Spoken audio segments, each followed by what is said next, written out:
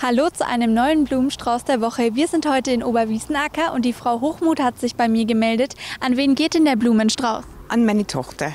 Und warum hat sie den verdient? Die hat uns aus Bodwör geholt, weil wir dort wirklich sehr schlecht gewohnt haben und äh, sie hat uns also hier die Möglichkeit gegeben, dass wir hier da bleiben können während der Corona-Zeit. Und auch ihr Lebensgefährte, der war einverstanden, obwohl er uns kaum gekannt hat. Und sie hat für uns jetzt alles getan, was überhaupt möglich ist und sogar jetzt eine neue Wohnung besorgt.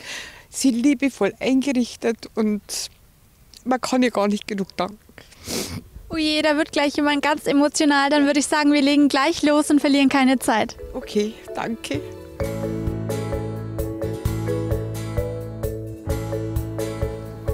Hallo! Sie haben uns schon gesehen, wir sind von Neumarkt TV und Sie bekommen heute von uns den Blumenstrauß der Woche. Herzlichen Glückwunsch. Dankeschön, vielen Dank. Es ist für unsere Tochter, weil sie so viel für uns getan hat und gemacht hat und jetzt auch noch eine Wohnung eingerichtet hat mit so viel Liebe und wir können ihr gar nicht genug danken. Dankeschön, aber ich mag es gern. Das sind meine Eltern. Das wissen wir, aber es ist nicht eine Selbstverständlichkeit.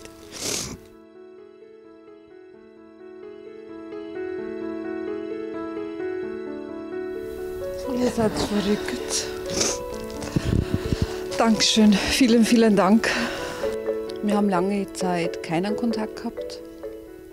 Und ja, wie das Leben halt so spielt, wenn die Eltern älter werden, man will ihnen halt doch helfen.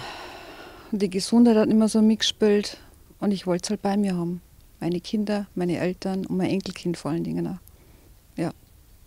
Und ich will einfach bloß, dass es ihnen gut geht was lange Jahre nicht der Fall war. Und das habe ich gern gemacht.